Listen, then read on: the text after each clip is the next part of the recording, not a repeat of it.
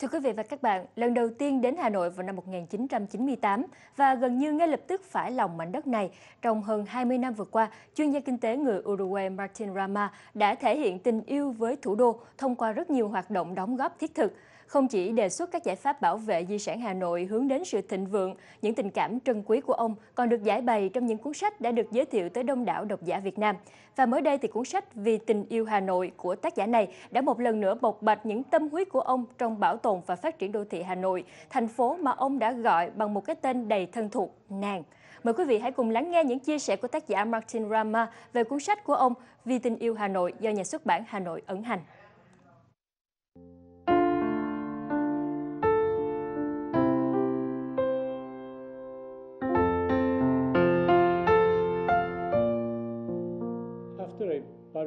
Sau khi tôi xuất bản cuốn sách đầu tiên về Hà Nội, tôi đã mở một trang Facebook để đăng tải những thông tin liên quan đến cuốn sách. Sau đó mọi người bắt đầu nhắn tin cho tôi về ngôi nhà này hay ngôi nhà kia bị phá hủy.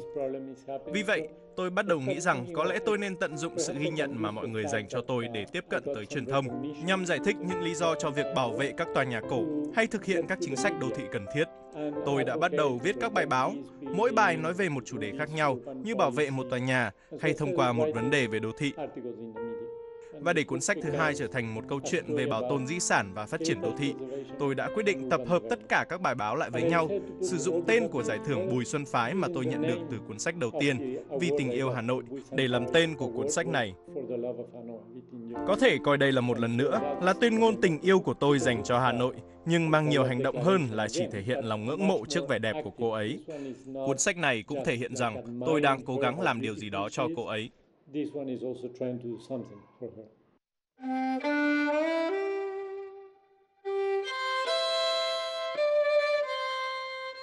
This book is less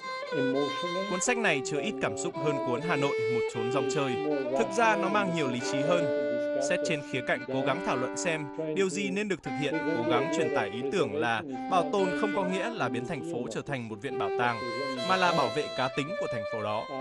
Tất nhiên, cuốn sách vẫn truyền tải cảm xúc để có thể chạm đến người đọc, nhưng nó đưa nhiều hơn những vấn đề cần được thảo luận, như điều gì nên làm và điều gì không nên làm với Hà Nội.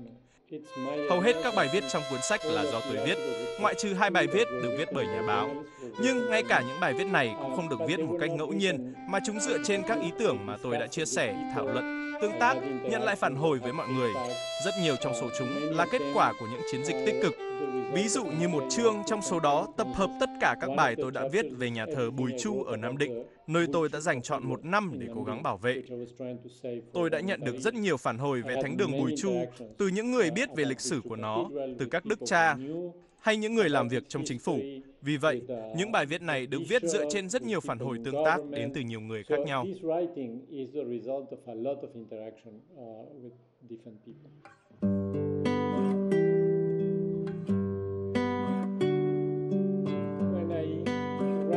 Khi tôi viết cuốn sách này, tôi đã nghĩ điều gì làm nên một bộ phim hay.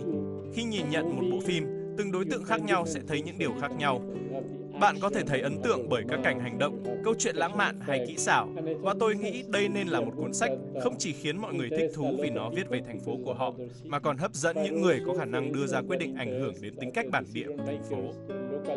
Và điều đó thực sự đã xảy ra. Tôi đã nhận được phản hồi và suy nghĩ rất tích cực từ Ủy ban Nhân dân, từ các kiến trúc sư. Đây là những người mà quyết định của họ sẽ có ảnh hưởng tới thành phố. Vì thế, không thực sự quá quan trọng khi cuốn sách không bán được nhiều bản, mà quan trọng hơn là nó có thể tiếp cận được tới nhóm người có thể làm gì đó trực tiếp cho thành phố.